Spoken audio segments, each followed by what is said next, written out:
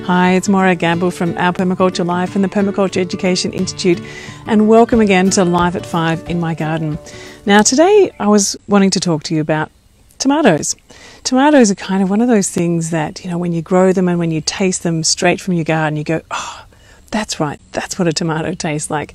And that's one of the reasons why I love to grow my own food is because of the taste and the flavour and, and just the fact that the types of varieties of tomatoes that you grow in your own garden are the older type of varieties that you can save seeds from year after year after year. And actually, after a while, they just start self seeding. I haven't actually grown tomato, I haven't seeded tomatoes in my garden for I don't know, 15 years, but every year I have some. And it's interesting that they actually tend to go more towards the wild cherry tomato because these are the ones that are the wildest form of tomatoes. I think something around 700 BC was when they were domesticated in the Andes. It's amazing how many plants actually originated from there. And the and the Aztec word I'm I'm not going to try and pronounce it, is actually the stem of the word of tomato. So it goes way back to then, and it's one of those original plants. So, how do you grow tomatoes simply and easily? Maybe you missed the seedlings and the seeds. So, that's kind of what I wanted to show you today. So, if you can find a tomato in the store, you can actually just slice it up and put that into a pot and it will grow. Now, it won't most likely it won't grow the type of tomato that you planted because most of the ones we get in stores are actually hybrid, which means that they've crossed between some kind of flavoursome or um, some kind of quality for transportation um, with a with a wild, hardy kind of variety. So everything kind of tends back towards the wild ones, and I love these ones because they have so much flavour, and they they continue to harvest. Uh, you continue to harvest them over a very long period of time, and they seem to be far less pest prone than many of the others. So if you're looking for a simple way, um, get those happening. So you can take one from, from a shop and slice it up and do that. If you already have some kind of wild tomatoes, I'm going to ask Evan to sort of look down here. Sometimes you find them self seeding in the garden.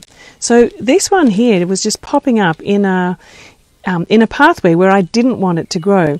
So you can see in here actually that there's a series of little plants. So you can actually divide them up and separate into sort of three or four plants there.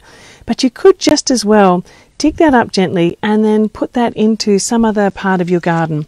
So you can take that with it, with its soil and its roots and then either pop it into a pot. So you could just take it into a pot like this and just plant like that and take it onto your veranda. So if you've got a friend who's got a tomato plant or you've seen some self-seeding tomatoes somewhere, that's all you need to do. So it's as simple as that. Now, alternatively, you could also take, oops, I'll make sure I don't snip my microphone cord. Um, from a, a, a cutting from part of the stem.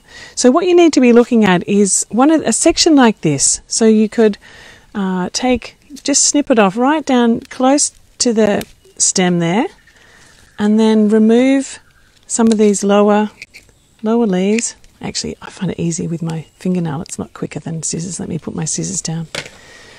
So just snip them off gently, always pulling again upwards so I don't damage the, the stem. And then something like that. And then sometimes people put that into water until it gets roots, but I'm just as happy to stick that straight in like this. So if I was in the garden, I would just be putting that straight back into the garden somewhere. Or with these ones, I would just put them in a spot where I, where I would like them. Now, something that people didn't know about the the leaves of tomato is that it's actually edible. So I'm not sure whether you've ever tried eating tomato leaves before, but there are lots of recipes that you can Google and find out. So these ones, you could um, just cook them up like you would a spinach. You can add them into pesto. You can make all different sorts of sauces from them. You can add them into pasta sauce. Uh, so there's another uh, leafy green that's available to you, and no, it's not toxic. So that's a bit of a myth that's been put forward. Um, so you can even eat the flowers, but I tend to like to leave the flowers so that we get more fruit. But you can add those to salad if you like. They're a tiny bit bitter, but there's actually nothing really wrong with bitter food we've we've kind of um, taken away a lot of the bitter food that is normally in some of the traditional vegetables, but bitters are things that help to um, stimulate our digestion. So if you do have some bitter foods added into your salads or whatever it is that you're eating, that's a really good thing. So eat the leaves, take cuttings from the stems, um, squirt out uh, let me just grab one of these tomatoes. So if you've got one of these tomatoes, you could also just plant a tomato full or whole or squish it a bit. Like just squish it until all the little seeds come out and just plant that in and then that will uh, that will grow like that. Uh, you know, quite often I just if I want some tomatoes in a particular part of the garden, I'll just go and throw a few tomatoes in that particular spot and let them self seed next season. Now, you might have noticed that I've harvested a few green tomatoes here too. So, green tomatoes are also edible.